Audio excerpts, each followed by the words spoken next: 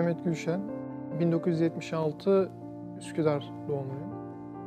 İlk orta ve liseyi de Üsküdar'da okudum, bitirdim. Burada önce ticaretten başladık.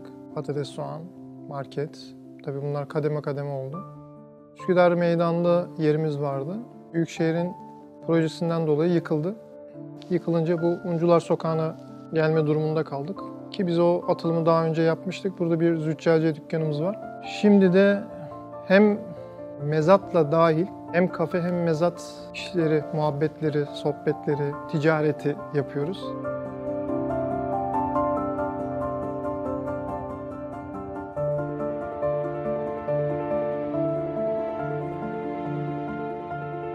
İkinci Abdülhamit Han e, zaten yaşamı boyunca e, eğitime destek veren bir padişah.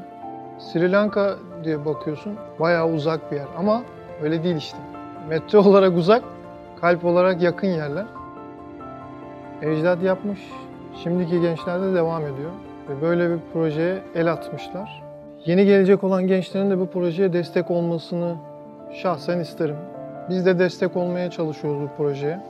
Hem posterle yani görsel olarak nerede ne yapılıyor onu bilmeleri açısından hem de kumbara koyarak maddi açıdan destek olmaya çalışıyoruz. Artı gelen müşterilerimize Aa bu ne dedikleri zaman yardım etmek için elinden geleni yapıyor. Ve burada tabii sırf bize değil çevredeki esnaflardan da onların da bu işe destek olması ki hayır işi bu ya. Yani eğitim verilecek. Yani düşünsene sen buradasın. Yani İstanbul'daki bir düşünce Sri Lanka'daki düşünceyle aynı. Ne demek ya?